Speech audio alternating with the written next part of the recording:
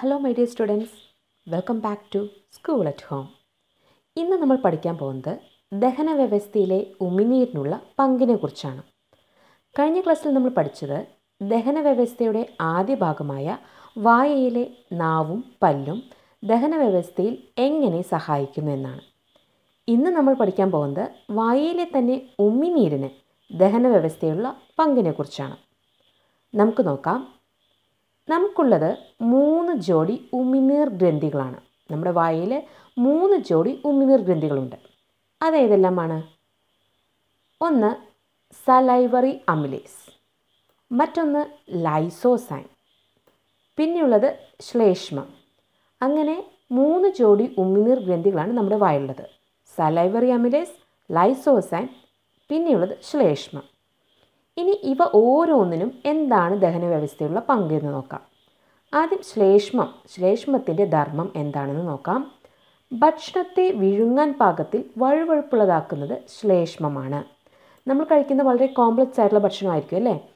വളരെ ഹാർഡായിരിക്കും ചില ഭാഗങ്ങൾ. ആ ഭക്ഷണത്തെ നമ്മുടെ വിഴുങ്ങാൻ നമ്മൾ കഴിക്കുന്ന പാകത്തിൽ കുറച്ച് വഴുവഴുപ്പുള്ളതാക്കി മാറ്റണം. അതിന് സഹായിക്കുന്ന ഒരു ഉമിനീർ ഗ്രന്ഥിയാണ് ശ്ലേഷ്മം എന്ന് പറയുന്നത്. അപ്പോൾ ഭക്ഷണത്തെ വിഴുങ്ങാൻ പാകത്തിൽ വഴുവഴുപ്പുള്ളതാക്കുന്നത് ശ്ലേഷ്മമാണ്. ഇനി ലൈസോസൈം മറ്റൊരു ഉമിനീർ ഗ്രന്ഥിയായിട്ടുള്ള ലൈസോസൈമിന് എന്താണ് ഇതിന്റെ ഫങ്ഷൻ ധർമ്മം എന്താണെന്ന് നോക്കാം. ഭക്ഷണത്തിലൂടെ പ്രവേശിക്കുന്ന രോഗാണുക്കളെ ഒരു പരിധിവരെ നശിപ്പിക്കുന്നതിനാണ് ലൈസോസൈം സഹായിക്കുന്നത്. ഇപ്പോൾ നമ്മൾ കഴിക്കുന്ന ഭക്ഷണം വളരെ മൂടി വെച്ചതോ അല്ലെങ്കിൽ നല്ല വൃത്തിയായി നമ്മൾ ഉണ്ടാക്കിയതാണെങ്കിലും എന്തായാലും പറയാൻ പറ്റില്ല നമ്മൾ കഴിക്കുന്ന ഭക്ഷണത്തിൽ ചില രോഗാണുക്കളെല്ലാം ചിലപ്പോൾ ചില സർക്കംസ്റ്റൻസിൽ കടന്നുകൂടിയിരിക്കാം. ആ രോഗാണുക്കളെ എന്ത് ചെയ്യുന്നത്? ഈ ലൈസോസൈം വെച്ചിട്ടാണ് ഒരു പരിധിവരെ നശിപ്പിക്കുന്നത്. നമ്മുടെ ഉമിനീർ ഗ്രന്ഥിയിലുള്ള ഉമിനീർ ഗ്രന്ഥിയാണ് ലൈസോസൈം അപ്പം നമ്മുടെ വായിലുള്ള ഈ ഒരു മൂന്ന് ജോഡി ഉമിനീർ ഗ്രന്ഥികളിൽ ഒന്നായിട്ടുള്ള ലൈസോസൈമാണ് ഭക്ഷണത്തിലൂടെ നമ്മൾ കഴിക്കുന്ന ഭക്ഷണത്തിലൂടെ പ്രവേശിക്കുന്ന രോഗാണുക്കളെ ഒരു പരിധി വരെ മുഴുവനായിട്ടുമല്ല ഒരു പരിധി വരെയൊക്കെ നശിപ്പിക്കുന്നത് ആരാണ്? ഈ ലൈസോസൈമാണ് ഇനി മറ്റൊരു ഉമിനീർ ഗ്രന്ഥിയാണ് സലൈവറി അമിലേസ്. ഈ സലൈവറി അമിലേസ് എന്ത് ചെയ്യുന്നത് വെച്ചാൽ നമ്മൾ കഴിക്കുന്ന അന്നജം നമ്മൾ ഭക്ഷണം എന്ന് പറയുന്നത് അന്നജമാവും. ആ അന്നജത്തെ ഭാഗികമായി മാൾട്ടോസ് എന്ന പഞ്ചസാരയാക്കി മാറ്റുന്നു. അന്നജത്തെ ഭാഗികമായി മാൾട്ടോസ് എന്ന പഞ്ചസാരയാക്കി മാറ്റലാണ് സലൈവറി അമിലേസിന്റെ ഫങ്ഷൻ ധർമ്മം.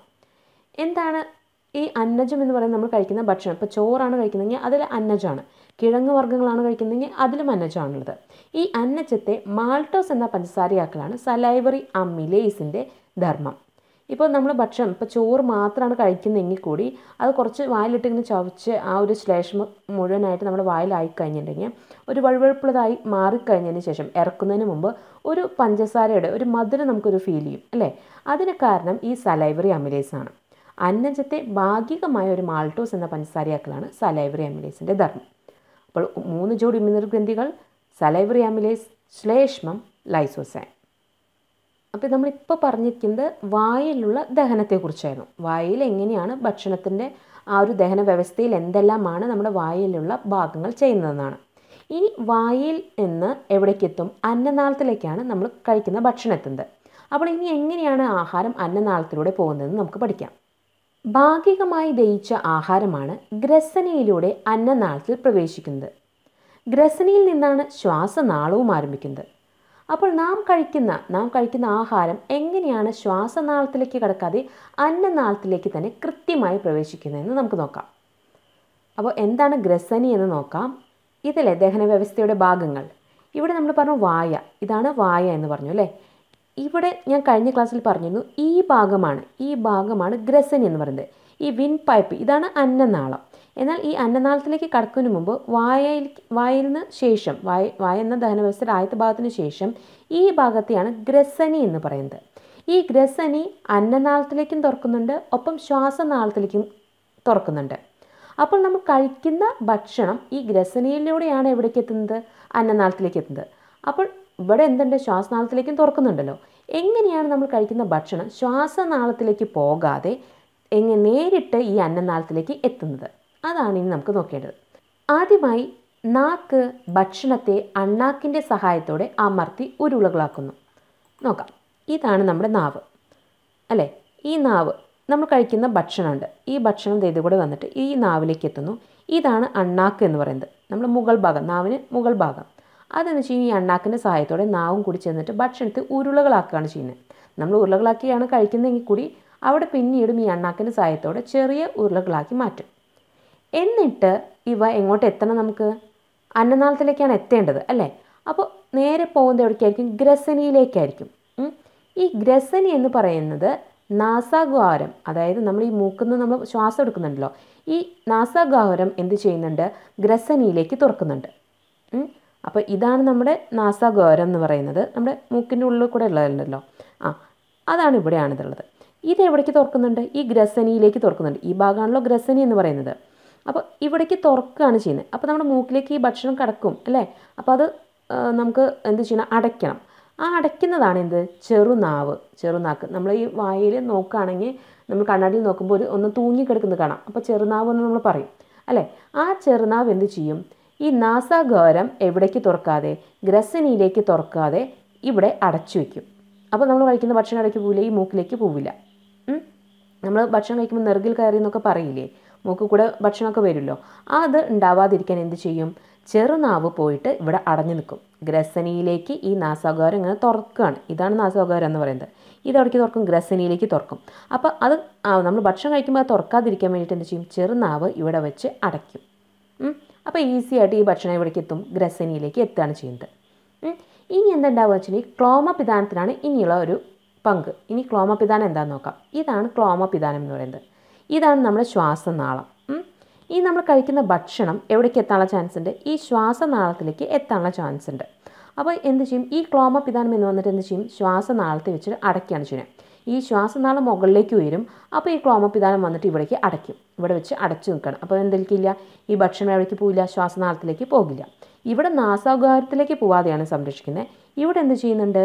ശ്വാസനാളത്തിലേക്ക് കടക്കാതെ എന്ത് ചെയ്യും? ശ്വാസനാളം മുകളിലേക്ക് ഉയർന്ന് ക്ലോമപിതാനം ഈ ക്ലോമപിതാനം വെച്ച് അടയ്ക്കും. അപ്പോൾ ഈ ഗ്രസനയിലൂടെ നാം കഴിക്കുന്ന ഭക്ഷണം അതായത് ഉരുളകളാക്കി നാവ് അണ്ണാക്കിന്റെ സഹായത്തോടു കൂടി ഉരുളാ ഉരുളകളാക്കി വെച്ചിട്ടുള്ള ഭക്ഷണം ഗ്രസനയിലേക്ക് നേരെ ഇങ്ങോട്ട് വരികയാണ് ചെയ്യുന്നത്. അപ്പോൾ ഇങ്ങോട്ട് കടക്കണമെങ്കിൽ ക്ലോമപിതാനം വെച്ച് അടച്ചിട്ടുണ്ട്. ശ്വാസനാളത്തിനെ വെച്ച് അടച്ചിട്ടുണ്ട്. ഇങ്ങോട്ട് പോവില്ല. പിന്നെ നാവ് എന്ത് ചെയ്യും? ഈ നാവിന്റെ ഇതാണ് നാവിന്റെ പിൻഭാഗം. ഈ നാവിന്റെ പിൻഭാഗം ഭക്ഷണത്തെ ക്ലോമപിതാനം. ഇതല്ലേ ക്ലോമപിതാനം? ഈ ക്ലോമപിതാനത്തിന്റെ മുകളിലൂടെ എവിടേക്ക് എത്തിക്കും? ഇതാണ് ഇനി ഈ താഴെയാണ് ആരുള്ളത്? അന്നനാളമുള്ളത്. ഇങ്ങോട്ട് പ്രവേശിപ്പിക്കുകയാണ് ചെയ്യുന്നത്. അപ്പോൾ നമ്മൾ പറഞ്ഞത് ആദ്യം തന്നെ അണ്ണാക്കിന്റെ സഹായത്തോടെ നാവ് എന്ത് ചെയ്യും? ഭക്ഷണത്തെ ചെറിയ ഉരുളകളാക്കും. നാസാഗ്വാരം എവിടേക്ക് തുറക്കുന്നുണ്ട്? ഗ്രസനിയിലേക്ക് തുറക്കുന്നുണ്ട്. അതിനടച്ചു വയ്ക്കുന്ന ആരാണ് നമ്മുടെ ചെറുനാവാണ്. അതുപോലെ തന്നെ ശ്വാസനാളത്തിലേക്കും ഭക്ഷണം കടക്കാതെ സഹായിക്കുന്ന ആരാണ് ക്ലോമപിതാനമാണ്. പിന്നീട് നാവിന്റെ പിൻഭാഗം നാവിന്റെ പിൻഭാഗമായ ഈ ഭാഗത്തിന്റെ സഹായത്തോടു കൂടി ക്ലോമപിതാനത്തിന്റെ മുകളിലൂടെ ശ്വാസനാളത്തിലേക്ക് കടക്കാതെ നേരിട്ട് എവിടേക്ക് കിടക്കും? അന്നനാളത്തിലേക്ക് പ്രവേശിക്കാൻ ചെയ്യുന്നത് അപ്പോൾ അതുകൊണ്ടാണ് നാം വിഴുങ്ങുന്ന ആഹാരം എവിടേക്ക് കിടക്കാതെ? ശ്വാസനാളത്തിലേക്ക് കിടക്കാതെ നേരിട്ട് എവിടേക്ക് എത്തുന്നത്? അന്നനാളത്തിലേക്ക് പ്രവേശിക്കുന്നത്. വളരെ പ്രാധാന്യം നിറഞ്ഞൊരു ഭാഗമാണ് ഇപ്പോൾ ഞാൻ പറഞ്ഞുകൊണ്ടിരിക്കുന്നത്. നിങ്ങൾ നന്നായി മനസ്സിലാക്കി പഠിക്കുക ഇനി അന്നനാളത്തിൽ നിന്ന് ആമാശയത്തിലേക്ക് എങ്ങനെയാണ് ഭക്ഷണം എത്തുന്നതെന്ന് നോക്കാം. ഭക്ഷണം ആമാശയത്തിലെത്തുന്നത് അന്നനാള ഭിത്തിയുടെ തരംഗ രൂപത്തിലുള്ള ചലനം കൊണ്ടാണ്. എന്ത് രൂപത്തിലുള്ളതാണ്? തരംഗ രൂപത്തിലുള്ള ചലനം. ഒരു വേവ് ലൈക്ക് മോഷനാണ് അതുകൊണ്ടാണ് എന്ത് നടക്കുന്നത്? ആമാശയത്തിലേക്ക്. ഇപ്പോൾ അന്നനാളത്തിലാണ് ഇപ്പോൾ ഭക്ഷണം ഇരിക്കുന്നത് അല്ലേ? ഇതാണ് അന്നനാളം എന്ന് പറയുന്നത്. ഈ അന്നനാളത്തിലാണ് ഇപ്പോൾ ഭക്ഷണം ഇരിക്കുന്നത്. ഇത് എവിടേക്ക് എത്തണം? ഇതാണ് ആമാശയം. ഈ ആമാശയത്തിലേക്ക് എത്തണം. അങ്ങനെയാണെങ്കിൽ ഇവിടെ ഒരു വേവ് ലൈക്ക് ആയിട്ടുള്ള അതായത് തിരമാലകൾ പോലെയുള്ള എന്തുണ്ടാവും? ഒരു ചലനം തരംഗ രൂപത്തിലുള്ള ഒരു ചലനം ഉണ്ടായിരിക്കും. അങ്ങനെയാണ് ഈ ഭക്ഷണം എവിടേക്ക് എത്തുക? ആമാശയത്തിലേക്ക് എത്തുക. ഇങ്ങനെയുള്ള ഈ തരംഗ രൂപത്തിലുള്ള ചലനത്തെ പറയുന്ന പേരാണ് പെരിസ്റ്റാൾസസ്. അപ്പോൾ അന്നനാളത്തിനും അതുപോലെ ആമാശയത്തിനും എന്തുണ്ട്? പെരിസ്റ്റാൾസസ് ഉണ്ട്. പെരിസ്റ്റാൾസസ് എന്ന് പറയുന്നത് ഭക്ഷണത്തെ കടത്തിവിടാനായിട്ട് ഭക്ഷണത്തെ മറ്റൊരു ഭാഗത്തിലേക്ക് കടത്തിവിടാനായിട്ട് നടക്കുന്ന തരംഗ രൂപത്തിലുള്ള ചലനമാണ്. തരംഗ രൂപത്തിലുള്ള ചലനത്തെ പറയുന്ന പേരെന്താ? പെരിസ്റ്റാൾസസ് ഇനി ഇപ്പോൾ അന്നനാളത്തിൽ നിന്ന് എവിടേക്ക് എത്തി? ആമാശയത്തിലാണ് ഇപ്പോൾ നമ്മൾ കഴിക്കുന്ന ആ ആഹാരം. അതായത് ഇപ്പോൾ ഭാഗികമായി ദഹിച്ച ആഹാരം എവിടെ എത്തി ആമാശയത്തിലെത്തി. ഇനി ആമാശയത്തിൽ വെച്ച് ഒരു പകുതി മുക്കാലും എന്തുണ്ടാവണം ദഹനം നടക്കണം അതെങ്ങനെയാണെന്നാണ് ഇനി പഠിക്കേണ്ടത്. അപ്പോൾ അന്നനാളത്തിൽ നിന്ന് ആഹാരം കുറച്ച് ഭാഗികമായി ദഹിച്ച ആഹാരം എവിടേക്കാണ് എത്തുന്നത്? ആമാശയത്തിൽ. ഇനി എങ്ങനെയാണ് ആഹാരം ആമാശയത്തിൽ എത്തുന്നത് നോക്കാം. വായ്ക്കുള്ളിൽ വെച്ച് അല്പമാത്രം ദഹിച്ച ആഹാര പദാർത്ഥങ്ങൾ ആമാശയത്തിലെത്തി കൂടുതലായി ദഹിക്കപ്പെടും. അപ്പോൾ വായ്ക്കുള്ളിൽ വെച്ച് കുറച്ച് ദഹിച്ചു. പിന്നെ അന്നനാളത്തിലൂടെ അങ്ങനെ അത് തരംഗരൂപത്തിലുള്ള ചലനം വഴി വേഗം എത്തുകയാണ് ചെയ്യുന്നത് എവിടെ ആമാശയത്തിൽ. ഇനി ആമാശയത്തിലാണ് കൂടുതൽ ദഹനം നടക്കേണ്ടത്. ഇനി അതെന്താ നോക്കാം. ഇവിടെ നോക്കൂ ഇതാണ് ആമാശയത്തെ. ഇതുകൂടെ അങ്ങനെ അന്നനാളത്ത് കൂടെ വന്ന് ആമാശയത്തിലെത്തി. ഈ ആമാശയത്തിൽ എന്ത് ചെയ്യുന്നുണ്ട്? വലിയ പേശികളുണ്ട്. ഈ ഭാഗത്ത് എന്തുണ്ട്? വലിയ പേശികൾ. ഈ വലിയ പേശികൾ ആമാശയത്തിൽ ഈ ഭക്ഷണം കുറേ നേരം നിർത്താനായിട്ട് സഹായിക്കുന്നുണ്ട്. നമ്മൾ കഴിച്ച ആഹാരം ആമാശയത്തിൽ കൂടുതൽ നേരം നിർത്തുന്നത് ആരുടെ സഹായത്താലാണ്? ഇവിടെ കാണുന്ന വലിയ പേശികളുടെ സഹായത്തോടെയാണ്. അതുപോലെ തന്നെ ആമാശയത്തിനും എന്ത് നടക്കുന്നുണ്ട്? തരംഗ രൂപത്തിലുള്ള ചലനമായിട്ടുള്ള പെരിസ്റ്റാൾസിസ് നടക്കുന്നുണ്ട്. ഈ പെരിസ്റ്റാൾസിസിന്റെ ഫലമായി നമ്മൾ കഴിച്ച ആഹാരം കൂടുതൽ കുഴമ്പ് രൂപത്തിൽ ആയിട്ട് മാറുകയാണ് ചെയ്യുന്നത്.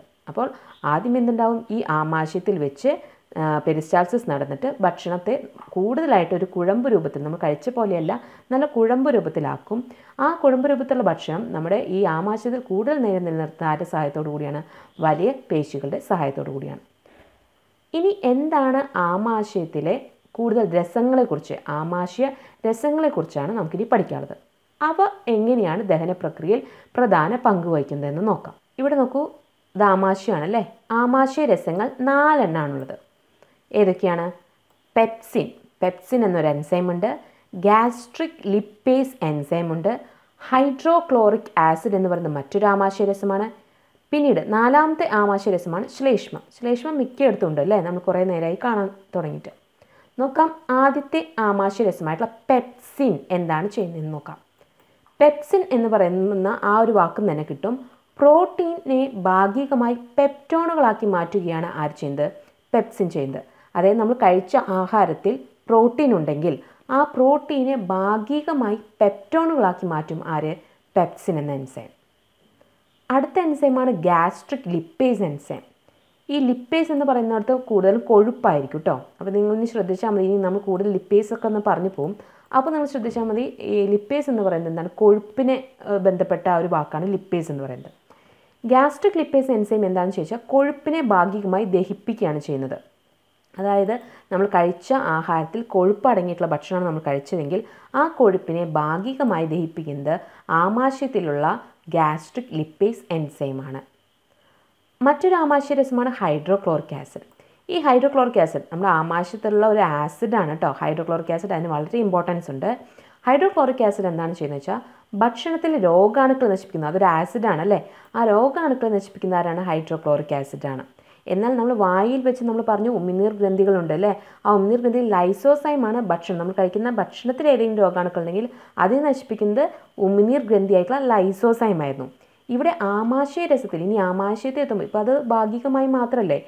നമ്മൾ വായിലുള്ള ഉമിനീർ ഗ്രന്ഥിയുടെ ലൈസോസൈം ഭാഗികമായി ഒരു പരിധി വരെ മാത്രമാണ് ആ ഭക്ഷണത്തിലുള്ള സൂക്ഷ്മാണുക്കളെ നശിപ്പിക്കുന്നത്. എന്നാൽ ആമാശയത്തിലെത്തുമ്പോൾ നമ്മുടെ വയറിലെത്തുമ്പോൾ അവിടെയുള്ള ഹൈഡ്രോക്ലോറിക് ആസിഡ് എന്ത് ചെയ്യും? രോഗാണുക്കളെ കൂടുതലായി നശിപ്പിക്കും. അതുപോലെ ആമാശയത്തിൽ നടക്കുന്ന ദഹന പ്രക്രിയയ്ക്ക് യോജിച്ച പി എച്ച് ക്രമപ്പെടുത്തുന്നതും ആര് തന്നെയാണ്? ഹൈഡ്രോ ക്ലോറിക് ആസിഡ് ആണ്. നമ്മൾ കഴിക്കുന്ന ചിലപ്പോൾ അസിഡിറ്റി ആയിട്ടുള്ള ഇപ്പോൾ നല്ല അച്ചാറൊക്കെ കഴിക്കുകയാണെങ്കിൽ ഈ നാരങ്ങയിൽ എന്താണ് അസിഡിറ്റി കൂടുതലാണ് അല്ലേ? അല്ല സിട്രിക് ആസിഡ് ആണ്. അപ്പോൾ പറയാൻ പറ്റും നമ്മൾ കഴിക്കുന്ന ഭക്ഷണം കുറച്ച് അസിഡിറ്റി ആയിട്ടുള്ളതുണ്ടാവാം അസി അസിഡിക് ആയിരിക്കാം. അല്ലെങ്കിൽ ചിലപ്പോൾ ഒരു ബേസിക് ആയിട്ടുള്ള ചില ഭക്ഷണങ്ങൾ ഉണ്ടായിരിക്കാം. അപ്പോൾ അതിന്റെയൊക്കെ പി എച്ച് പി എച്ച് ക്രമപ്പെടുന്നത് ക്ഷാര സ്വഭാവമുള്ള ഭക്ഷണം ഉണ്ടായിരിക്കാം.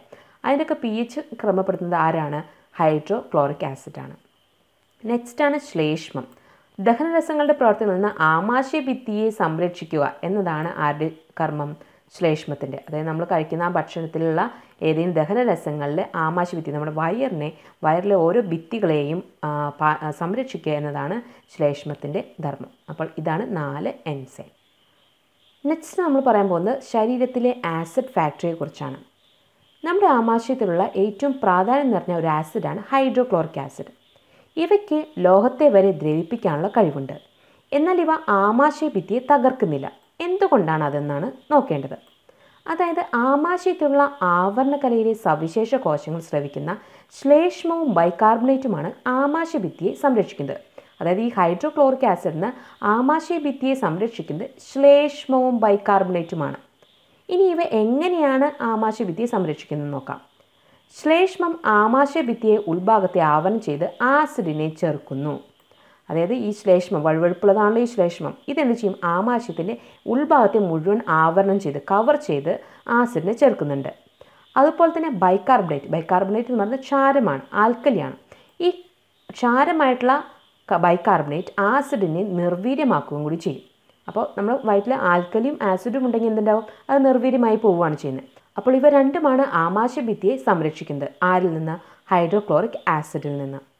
എന്നാൽ ചിലരിൽ ആസിഡിന്റെ ഉൽപ്പാദനം ക്രമാതീതമായി കൂടുമ്പോൾ ഈ സംരക്ഷണ സംവിധാനമൊക്കെ ആകെ പരാജയപ്പെടും. അതായത് ഈ ശ്ലേഷ്മത്തിനും ബൈകാർബണേറ്റിനും ഒന്നും ചെയ്യാൻ പറ്റില്ല. അങ്ങനെയാണ് നമ്മുടെ ശരീരത്തിൽ ആസിഡിറ്റി എന്ന ആരോഗ്യ പ്രശ്നം ഉണ്ടാകുന്നത്. അങ്ങനെ ആ ആരോഗ്യ പ്രശ്നം ഉണ്ടായാൽ ആമാശയ വ്രണം വരെയായി അത് മാറും. ഗ്യാസ്ട്രിക് അൾസർ എന്ന് പറയും. സോ ഇത്ര വരെയാണ് ഞാൻ ഇന്നത്തെ ക്ലാസ്സിൽ പറയാൻ പോകുന്നത്. ഇതുവരെയുള്ള ക്ലാസ് നിങ്ങൾക്ക് മനസ്സിലായെങ്കിൽ please subscribe my channel and share it thank